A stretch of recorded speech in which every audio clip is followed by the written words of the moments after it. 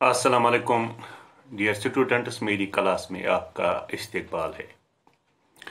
आज की क्लास में हम जिगर मुराद आबादी की दो खूबसूरत गज़लों का मुताला करेंगे।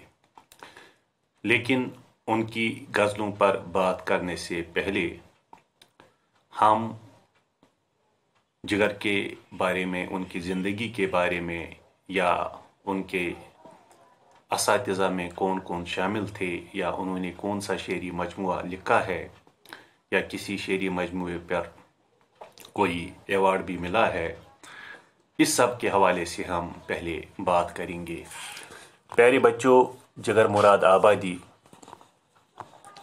जो है, उनकी वलादत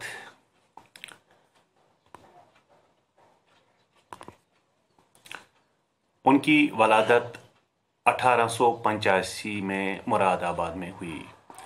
यानी उनका जो जन्म है, वो अठारह सौ पचासी में मुरादाबाद में हुआ और उनकी वफ़ात 1960 में गोंडवा में हुई। कहते हैं कि जगर अपनी कम अंदेशी की वजह से ख़ानदान वालों से बिगाड़ कर बैठे। वो कम अंदेश थे, कोता अंदेश थे। अपनी कम अंदेशी की वजह से उन्होंने अपने ख़ानदान वालों के साथ झगड़ा किया। सैर करने गोंडा पहुँचे और फिर वहाँ ही सुकूनत इख्तियार की। वो सैर करने की गर्ज से गोंडा पहुँचे थे और फिर उन्हें वहाँ पे काफ़ी मज़ा आया। उनका दिल वहाँ पे लगा और उन्होंने वहाँ ही सुकूनत इख्तियार कर ली। वहाँ असगर गोंडवी जो मशहूर शायर थे, चश्मे का कारोबार करते थे।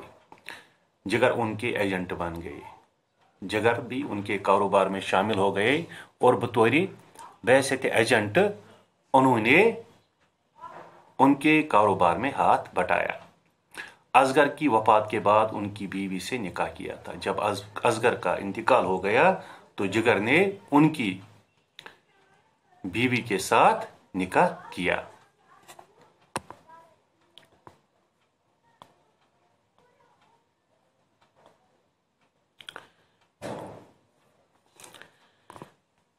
जिगर की, जिगर का इलम माफ़ कीजिए, यहाँ पे जिगर की हो गया। जिगर का इलम मामूली था। अलबत् फ़ारसी ज़बान से काफ़ी लगा था। उनका इलम जो था, वो मामूली किस्म का था। उन्होंने मामूली तालीम पढ़ ली थी। अलबत् ये ज़रूर था कि फ़ारसी ज़बान के साथ उनका काफ़ी लगाव बढ़ गया था। बचपन से शेर, गोई का शौक था। इब्तदा में अपने वालिद मौलवी नज़र अली से इसलाह ली। जो उनके पहले उस्ताद थे, वो उनके अपने ही वालिद थे, जिनका नाम मौलवी नज़र अली था।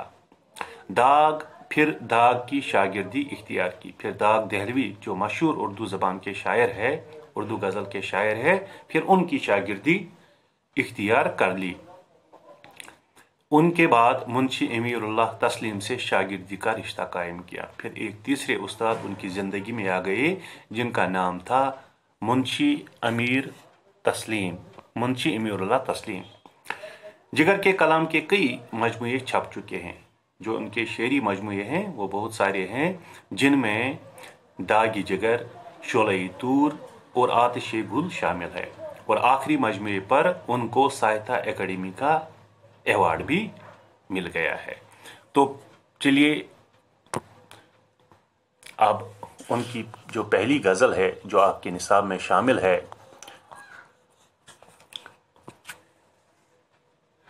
जिसका मतलब है कि क्या खाक सैर कीजिए दुनिया ये रंगबू की, क्या खाक सैर कीजिए दुनिया ये रंगबू की, मोहलत न आरज़ू की, फुर्सत न जस्तजू की। बहुत ही खूबसूरत मतला कहा है जिगर ने कि क्या खाक सैर कीजिए। मैं क्या खाक सैर करूँ इस दुनिया रंगबू की?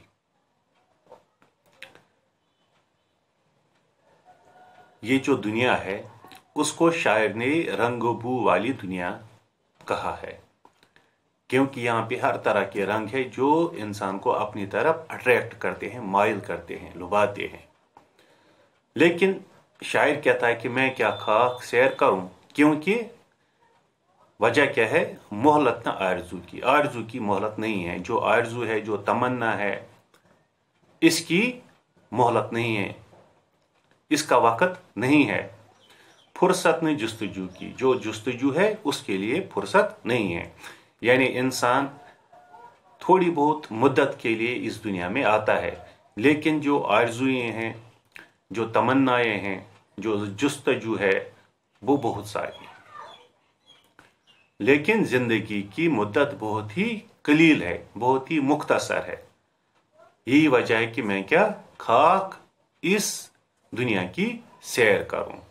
यहाँ पे तो चाहिए था कि अगर हज़ारों साल इंसान की उम्र होती तो फिर कुछ काम बन जाता था तो फिर हम वाकई तमाम चीज़ों को देखते, उनमें खो जाते।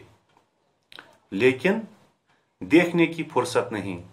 इन चीज़ों को देखने की फुर्सत नहीं, क्योंकि ज़िंदगी की जो मुद्दत है ज़िंदगी का जो वक्त है, वो बहुत ही कलील है, वो बहुत ही मुख्तसर है। ये हद आरज़ू भी क्या हद आरज़ू है? ये हद आखिरी है आशक की जस्तजू की। ये हद आखिरी है आशक की जस्तजू की।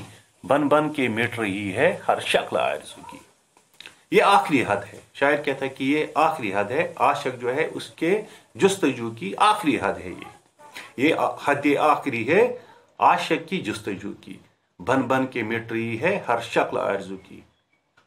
जो आरज़ू है उसकी जो शक्लें हैं वो बन बन के मिट रही है। क्योंकि ये मेरी आखिरी जस्तजू है। जो आखिरी जस्तजू है, अब मैंने दुनिया से तर्क ताल्लुक किया है, दुनिया को छोड़ने का फैसला किया है, और जो आखिरी जस्तजू है, उसकी क्या है? उसकी शक्ल, उस आरज़ू की शक्ल बन बन के मिट रही है और ख़त्म हो रही है। ये तर्क जस्तजू भी क्या तर्क जस्तजू है? ये तर्क जस्तजू भी, क्या तर्क जस्तजू है? इसमें भी पा रहा हूँ एक शान जस्तजू की। शायद कहते कि ये जो तर्क जस्तजू है, जिसको मैंने तर्क किया है, जिस आरज़ू का, जिस ख्वाहिश का मैंने खून किया है, छोड़ दिया है, ये कैसी जस्तजू है? ये तर्क जस्तजू, कैसी तर्क जस्तजू है? इसमें भी पा रहा हूँ एक शान जस्तजू की। जबकि मैंने सब कुछ छोड़ने का फैसला किया है और मेरा दिल जो है, मेरा मन जो है, वो ऊब चुका है। लेकिन मैं इसमें भी, छोड़ने के बाद भी मैं इसमें भी क्या पा रहा हूँ? एक शान, इस जस्तजू की शान पा रहा हूँ। यानी जो कुछ मैंने छोड़ने का फैसला किया है, उसमें मैं इज़्ज़त पा रहा हूँ। और इसके बाद एक खूबसूरत शेर है कि मायूस होके पलटें जब हर तरफ़ से नज़रें। मायूस होके पलटें जब हर तरफ़ से नज़रें। दिल ही को बुत बनाया, दिल ही से गुफ्तगु की। जब इंसान से ज़्यादा मायूस हो जाता है हर चीज़ से, उसका दिल उठ जाता है तो फिर क्या शायर करता है कि मायूस होके पलटे जब हर तरफ़ से नज़रें। यहाँ देखा मायूसी, वहाँ देखा मायूसी, उधर देखा उदासी, इधर देखा उदासी, लेकिन उस हालत में क्या किया? मैंने अपने दिल को बुद्ध बनाया और उस बुद्ध के साथ मैंने गुप्तगु शुरू की।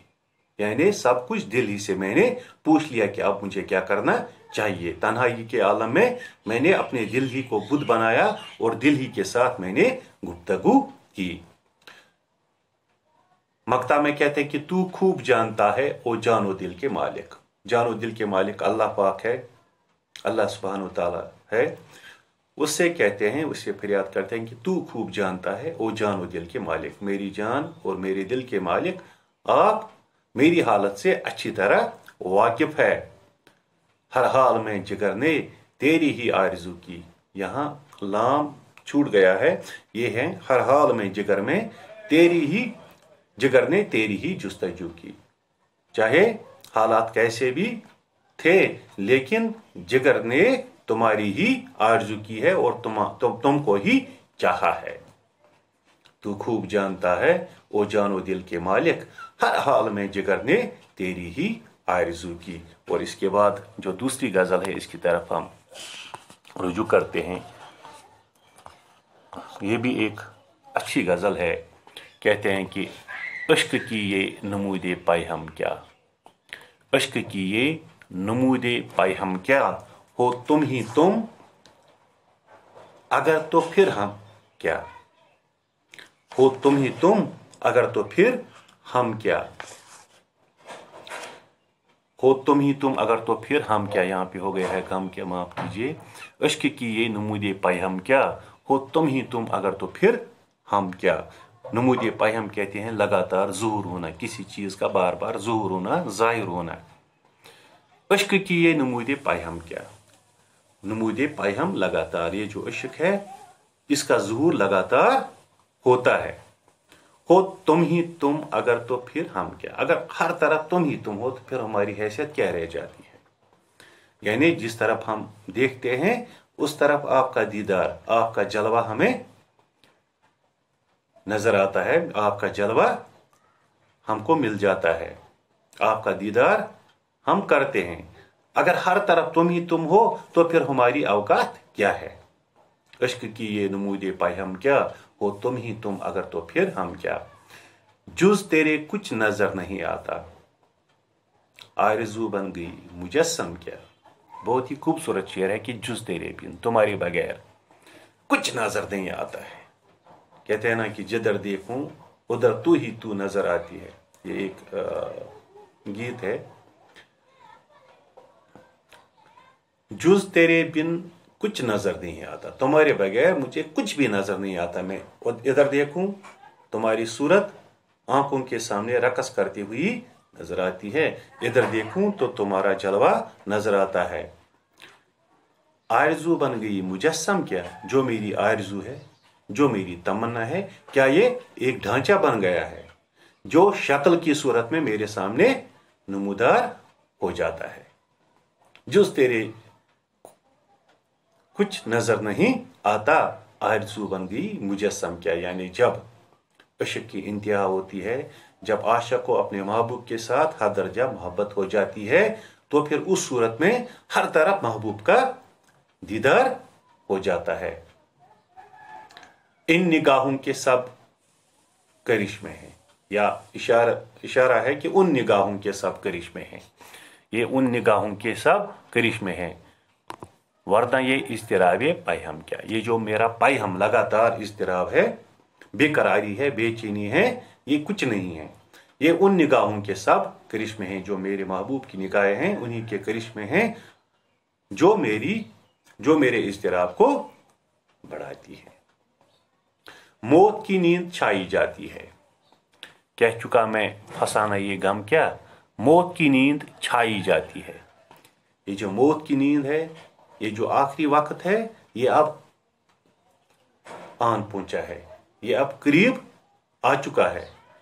कह चुका मैं, फसाना ये गम क्या? जो फसाना ये गम में कह रहा हूँ, क्या मैं वो मुकम्मल कर चुका हूँ? यानी मैंने ज़िंदगी में बहुत सारे गम उठाए हैं, बहुत सारे, बहुत सारी तकलीफें बर्दाश्त की हैं और जो कुछ मैं सुना रहा हूँ, अगर मैं वो सब कुछ सुना चुका हूँ तो फिर मैं मरने के लिए तैयार हूँ। और अगर नहीं तो फिर मुझे जो मेरी कहानी है, जो मेरी अधूरी कहानी है, मुझे मुझे वो कंप्लीट करने दो। मुझे वो मुकम्मल करने की इजाज़त दीजिए। इश्क खामोश मज़े में है। इश्क खामोश है मज़े में जिगर।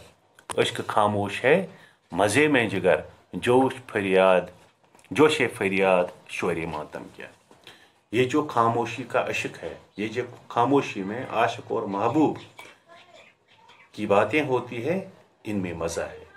इनमें जोश जोश फरियाद, शोर मातम करने की ज़रूरत नहीं है, वावेला करने की कोई ज़रूरत नहीं है, बल्कि अश्क की दुनिया में आशक को खामोशी के साथ हर तकलीफ़ बर्दाश्त करनी चाहिए। तो ये थी दो खूबसूरत गज़लें जिनका हमने कमा हका आज मुताला किया, थोड़ी बहुत तशरी की, थोड़ा बहुत तर्जमा किया। तो इन मैं बार बार कहता हूँ कि ये क्लासरूम नहीं है, वहाँ की सिचुएशन कुछ और होती है और ऑनलाइन क्लास कुछ और होती है।